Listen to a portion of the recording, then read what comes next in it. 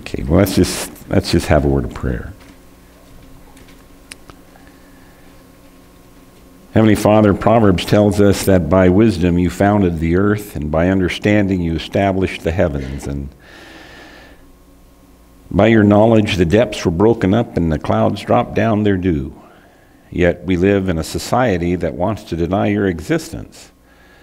So it's not surprising that we, as your children, don't always feel at home here in this world that we live in.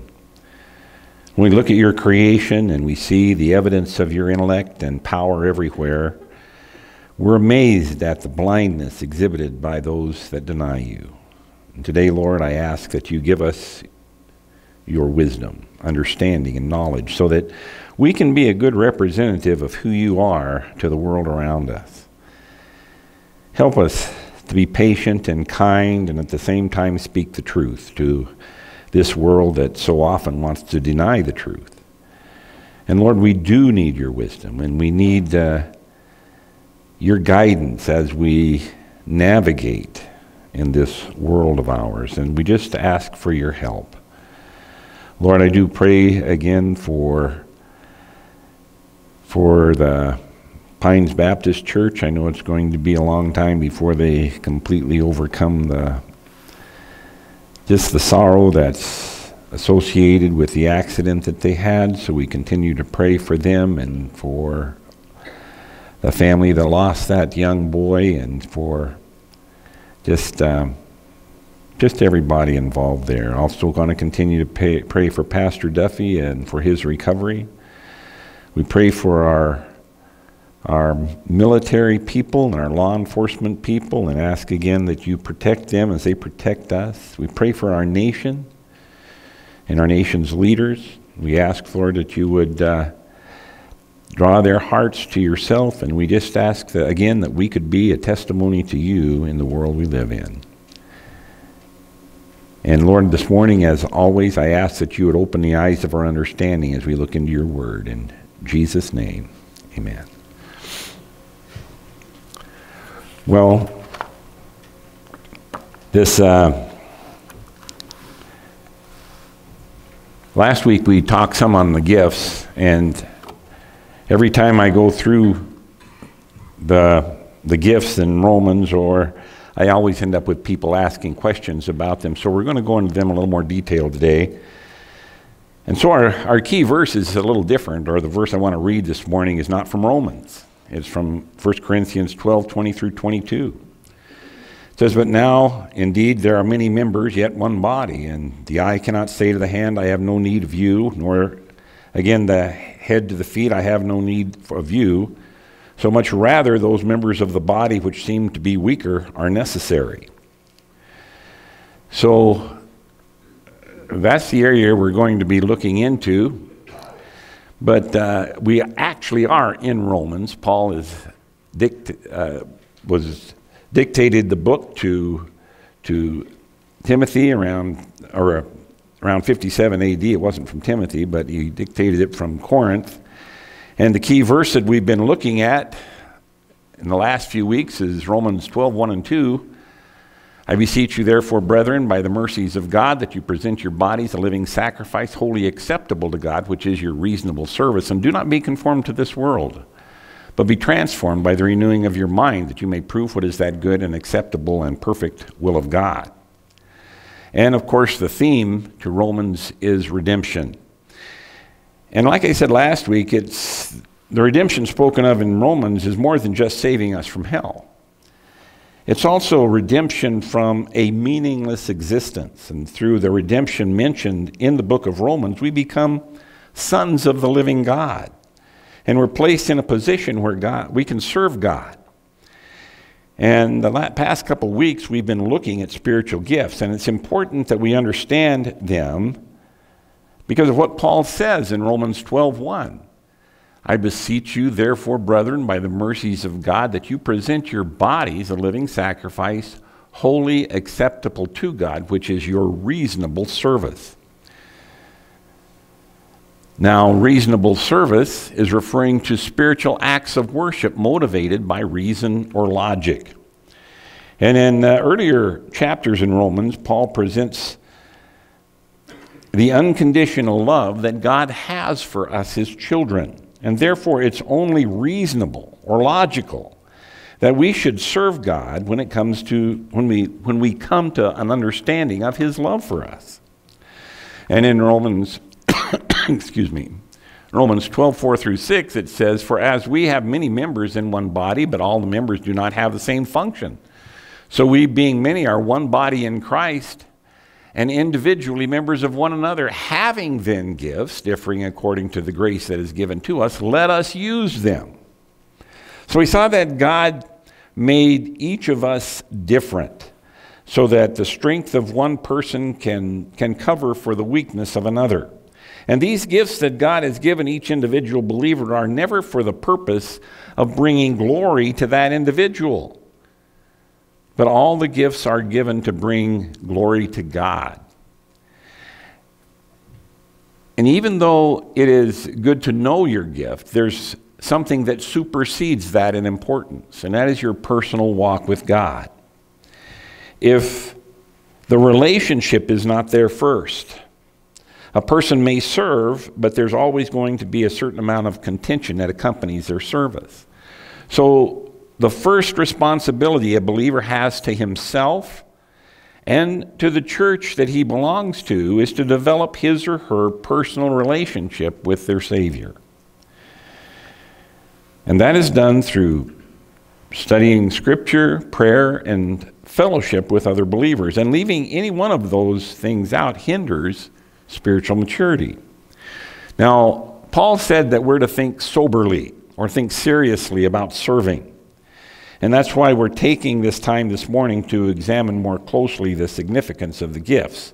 We saw last week that uh, the subject of gifts comes up several places throughout the epistles. And that's another reason why we, they should be taken seriously. In 1 Corinthians 12, 4 through 6, and verse 11, it says there are diversities of gifts, but the same Spirit. There are differences of ministry, but the same Lord. There are diversities of activities, but it is the same God who works all in all. But one and the same Spirit works all these things, distributing to each one individually as He wills. So the gifts are not something that we should seek for personal glorification. They are given to us by God at His discretion. And He gives us these gifts to be a blessing to the local body of believers. Now, excuse me. Last week we looked briefly at Ephesians 4:11 and 12, and it says he himself gave some to be apostles, some prophets, some evangelists, and some pastors and teachers for the equipping of the saints for the work of the ministry for the edifying of the body of Christ. So here we have listed five spiritual gifts. But before we go any further, let me say something more about gifts in general. It appears that the Holy Spirit gave some gifts during the times of the early church to validate the existence, or its existence, the church's existence, in the eyes of both the Jews and the Gentiles.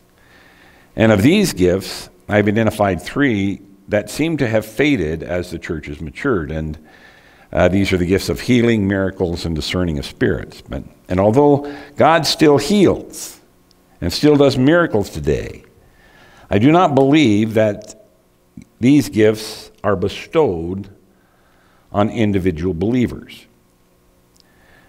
But let's, let's back, uh, get back to these verses in, in Ephesians 4 11 and 12. It says, And he gave some to be apostles. Apostles are missionaries. Now, there are those who think that the position of the apostle ended with the 12 apostles, and although there will always be the Big 12, you might say. There were those that, uh, and these were, were those who followed Jesus during his earthly ministry.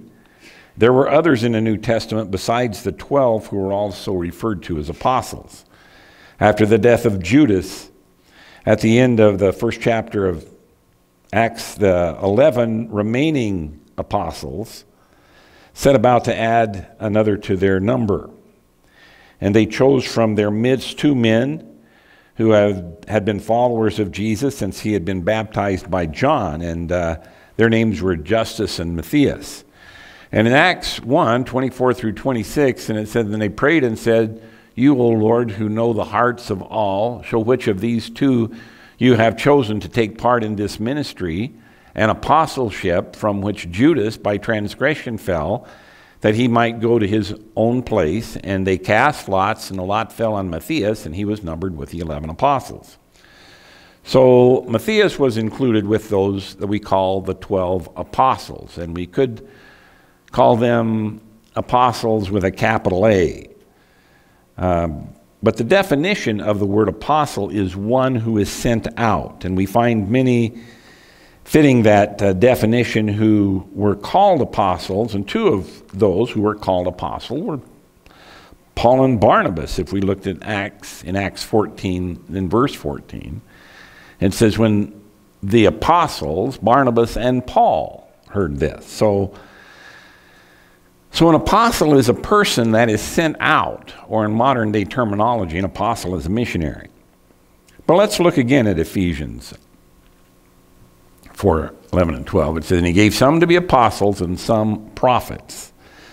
Now, when we see the word prophet, we think of, of an Old Testament prophet that foretold the future.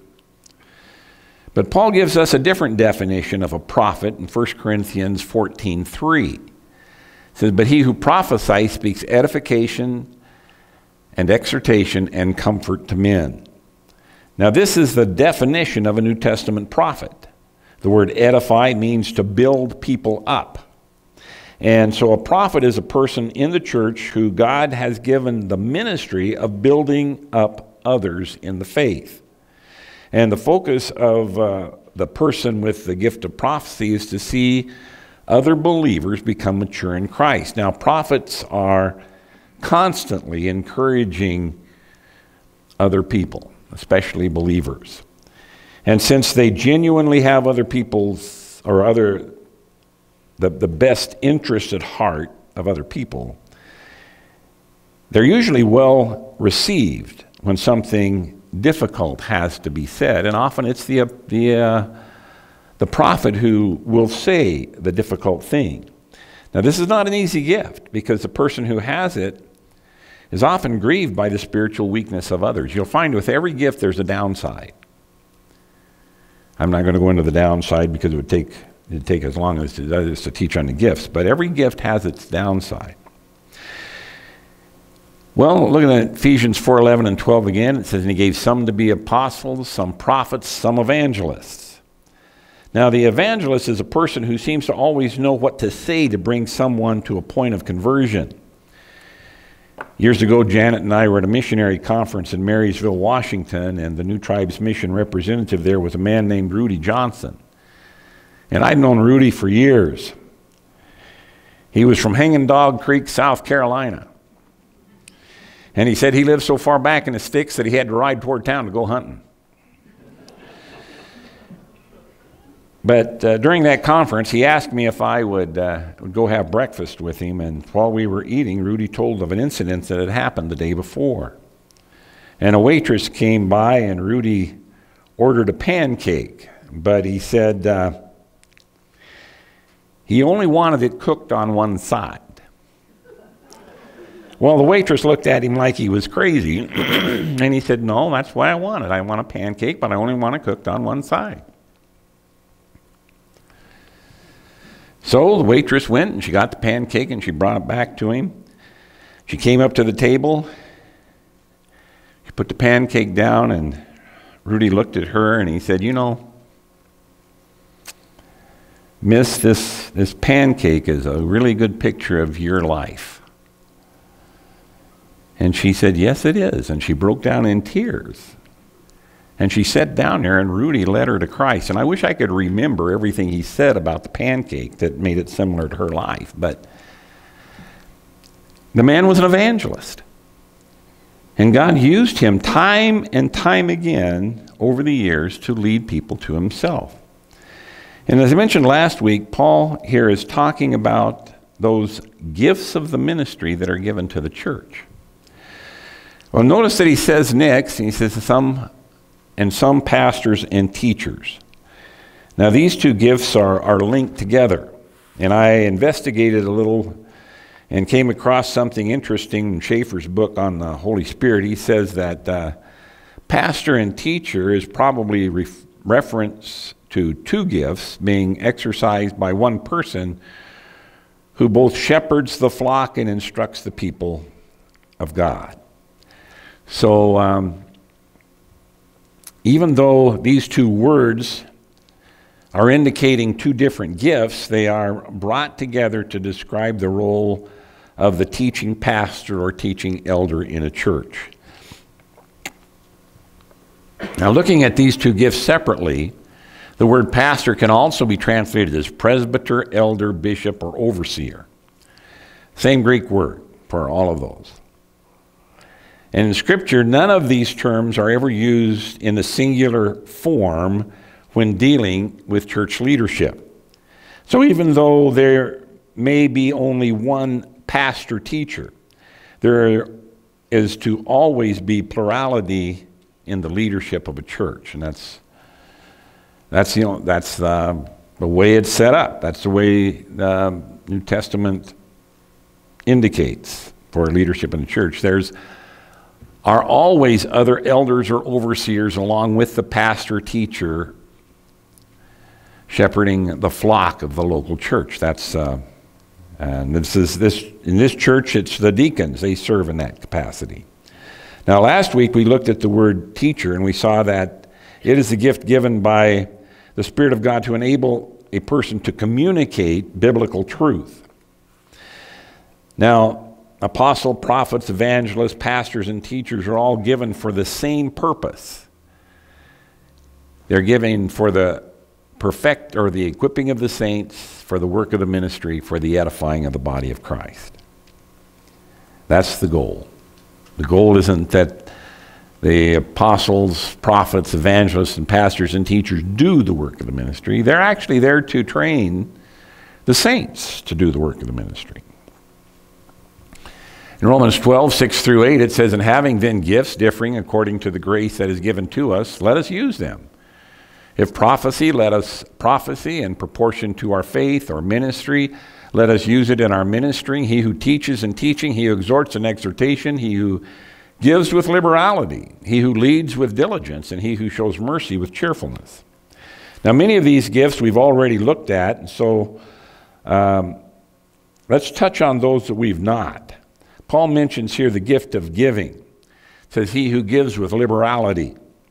Now, Keep in mind that with these gifts comes the ability to go beyond what is normal. We may not have the gift of evangelism, but we, uh, we should still be sharing our faith with those that we know that are without Christ. We may not have the gift of prophecy, but we should still be encouraging others in their walk with God.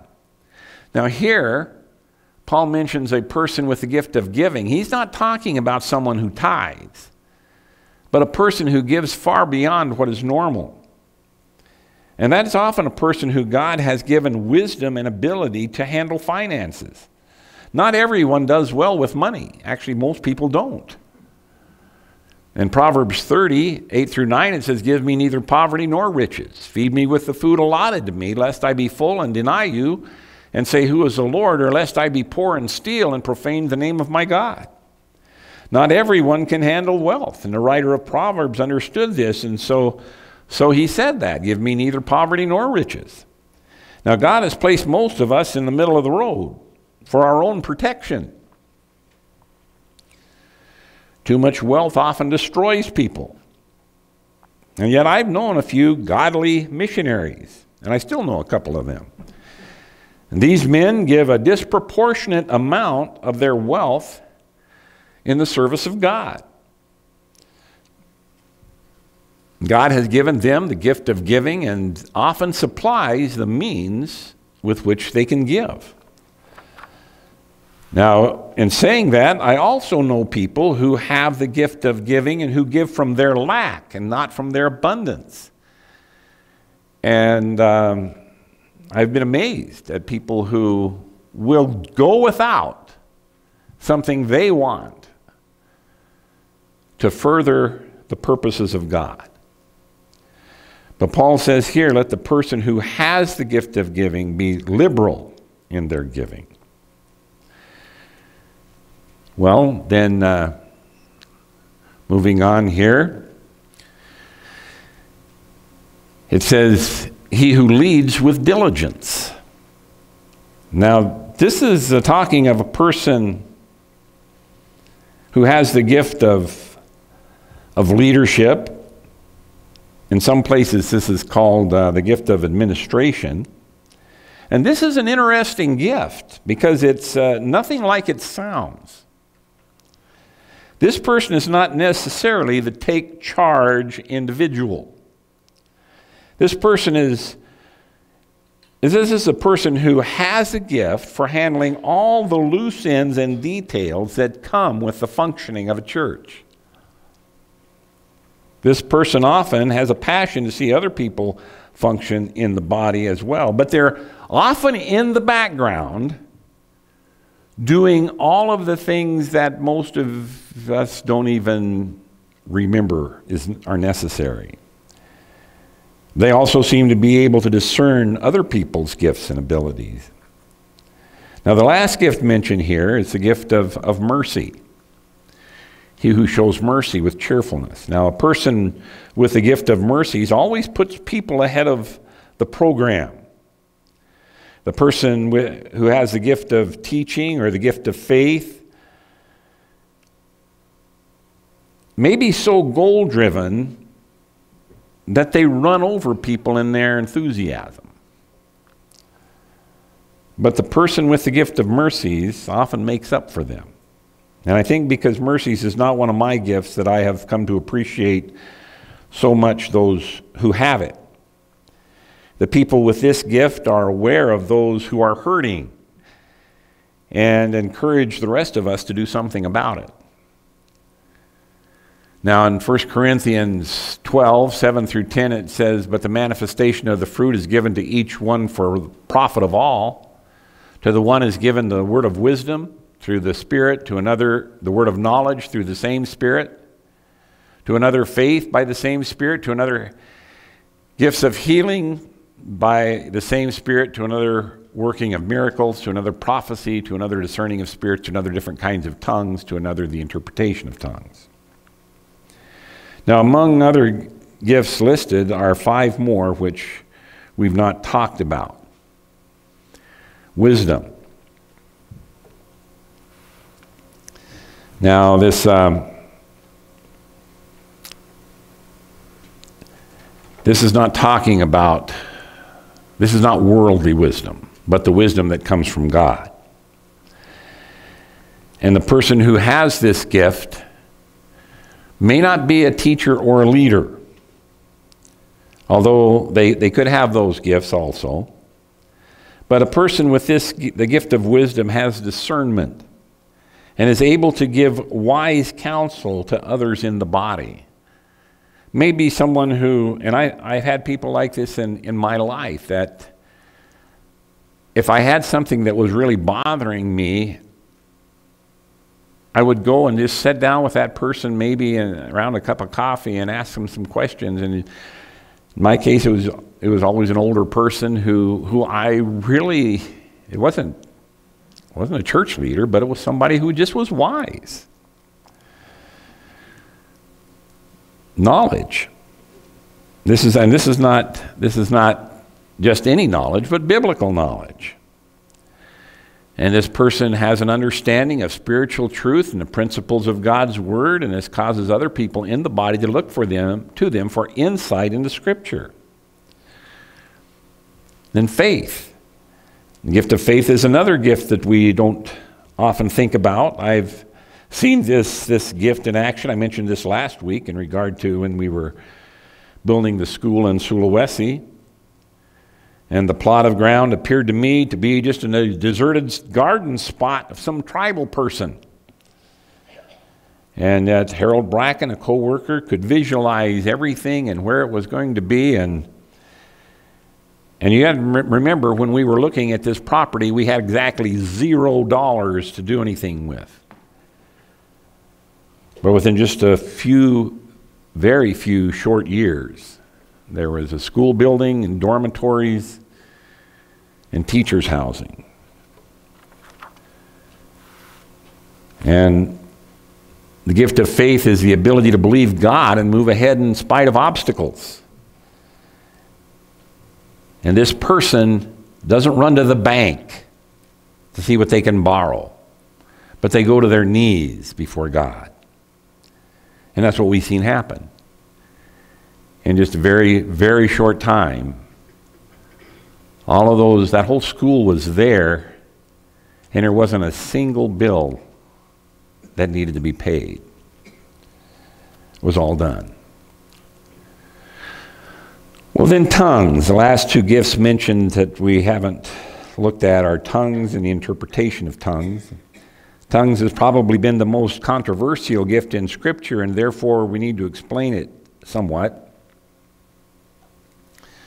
Tongues was a sign gift early in church history, and whenever you see the word tongues in the book of Acts, it's referring to known languages at that time.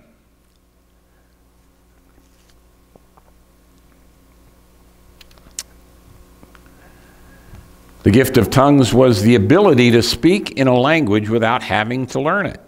Now, I speak Indonesian, but I had to, to do it the hard way. I studied every day for 40 hours a week for 10 months to get a grasp of the language, and I still didn't have a grasp of it. But I could function in it. That's not what happened at Pentecost, where they spoke in known languages that they didn't learn. If you look at Acts 2 4 through 8, and it says, And they were all filled with the Holy Spirit and began to speak with other tongues as the Spirit gave them utterance. And there were dwelling in Jerusalem Jews, devout men from every nation under heaven. And when this sound occurred, the multitude came together and were confused because everyone heard them speak in his own language. Get that? His own language. And they were all amazed and marveled, saying to one another, Look, are not all these who speak Galileans? How is it that we hear each one in our own language in which we were born? So, here in Acts, God overcame the curse of Babel, and He did it so that those who knew the gospel could share it. Tongues first made its appearance on the day of Pentecost. Later, this same gift was given to the Gentiles as a sign to the Jews that God had included the Gentiles into the church.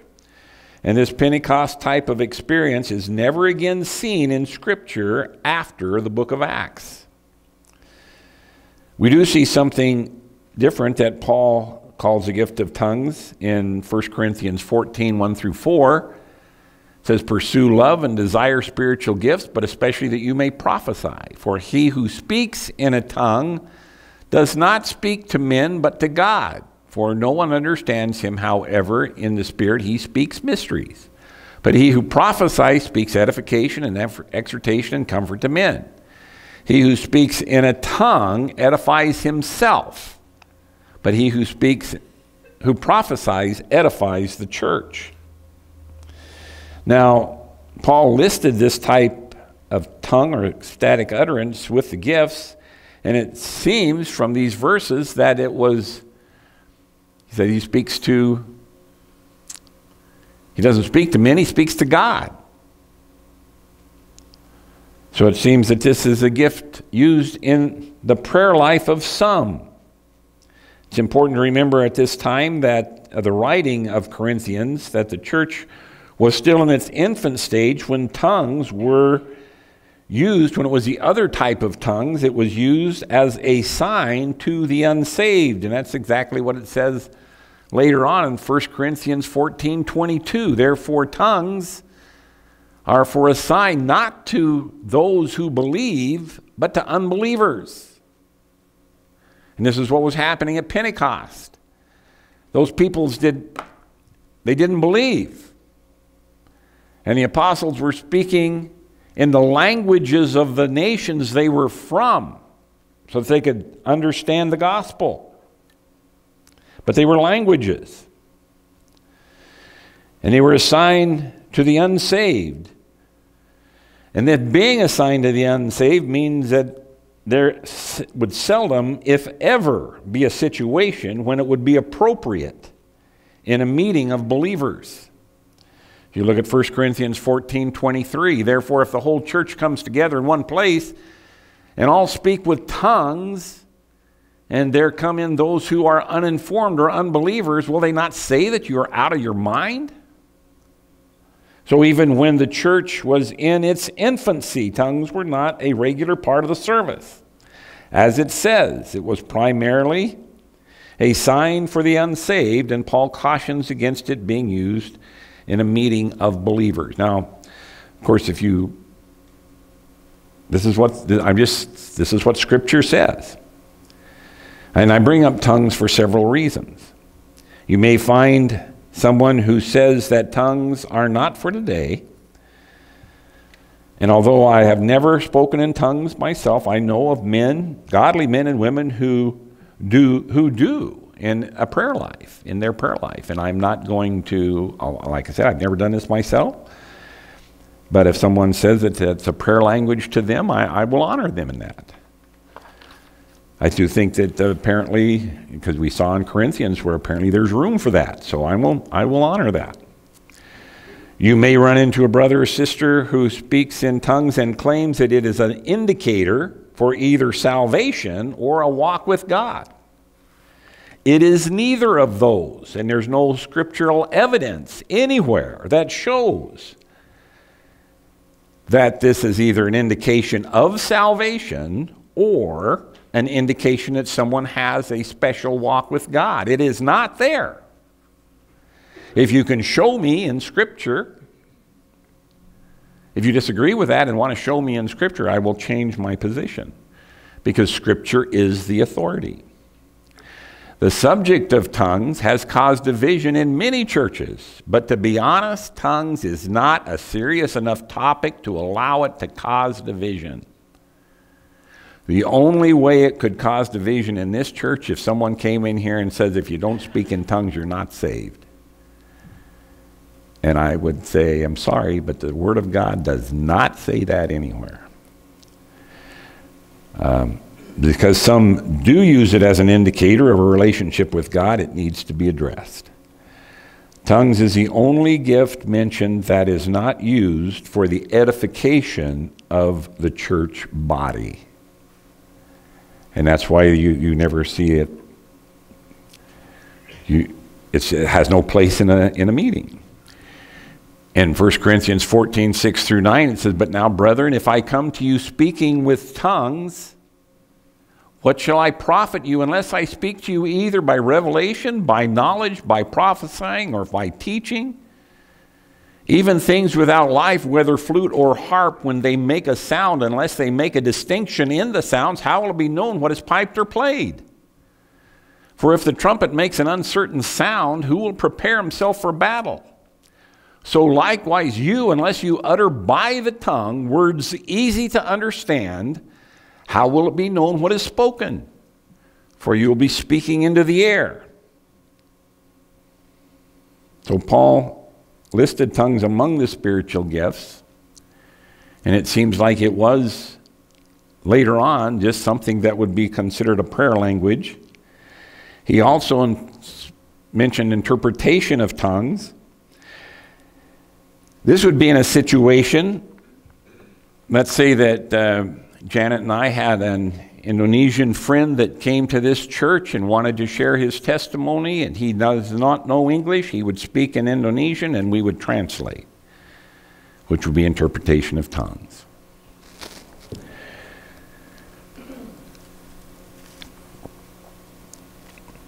In the early church, that was necessary. Lots of different languages spoken. In in Indonesian, it's necessary. I've operated as a translator many times.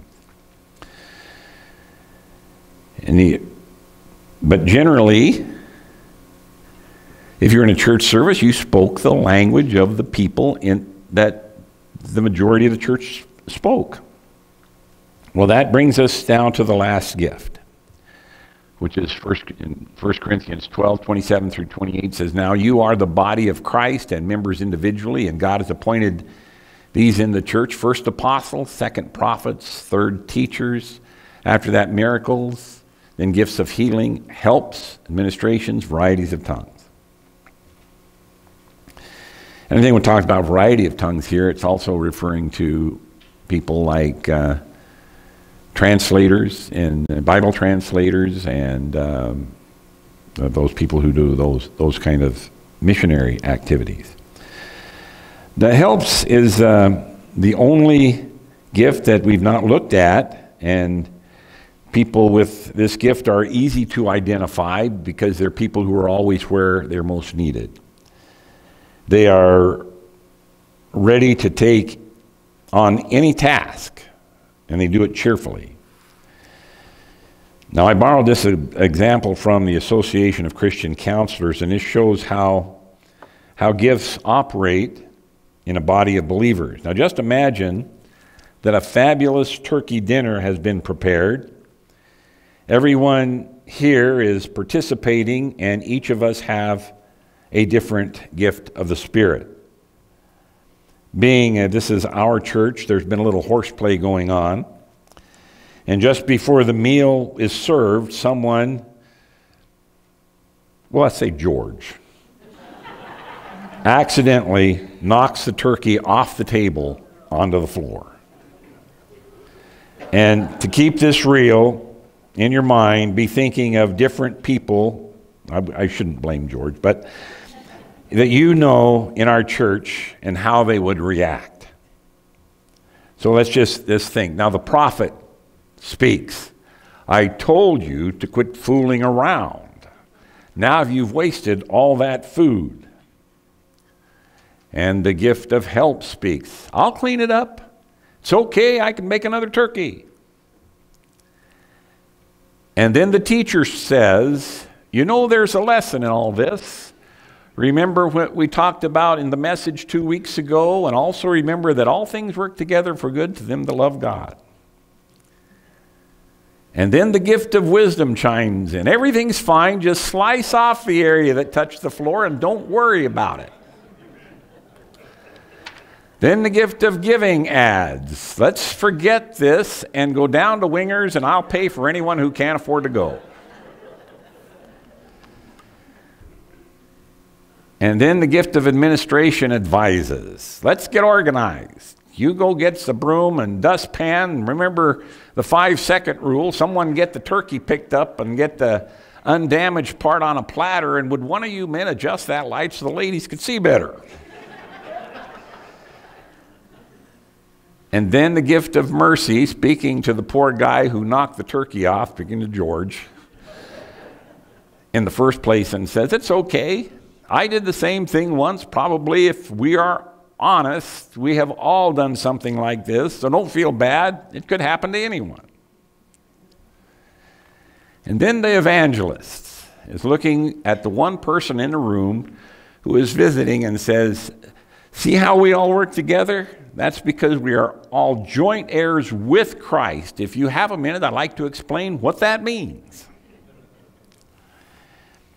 The gifts of the Spirit make the different parts of the body function differently in any given situation. And we can see that in our own church body. And we need those differences. In 1 uh, Corinthians 12, 20 through 22, it says, But now indeed there are many members, yet one body. And the eye cannot say to the hand, I have no need for you nor can the head to the feet, I have no need of you. No, rather, those members of the body which seem to be weaker are necessary. Every part of the body of Christ is significant. There are many, many different gifts, and each believer has at least one, and most, I believe, have more than one. And we do, we do need each other. And we are blessed in this body of believers because we we get along. And, uh, and you know, I, know I, I mentioned some things today that were controversial, and I will always go back to this. If you If you show me in Scripture anywhere where I'm wrong, I will change what I believe to go along with Scripture. Because I am not the authority. The Word of God is always the authority. If you find that you believe something that is contrary to what the Word of God says, I don't care what your experience has been or what someone you know's experience has been, the Word of God is still the authority. Okay, thank you for listening.